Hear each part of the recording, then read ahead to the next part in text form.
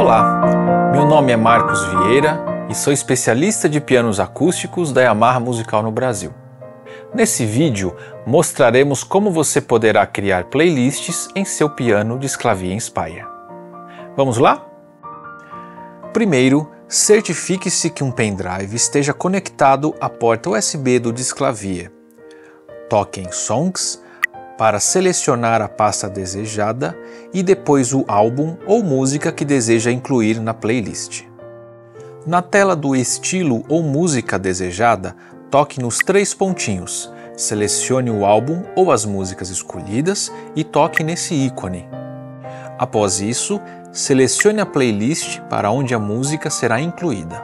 Caso não existam playlists, crie a sua playlist inserindo um nome de sua preferência Repita essa etapa em todos os álbuns e músicas que você preferir.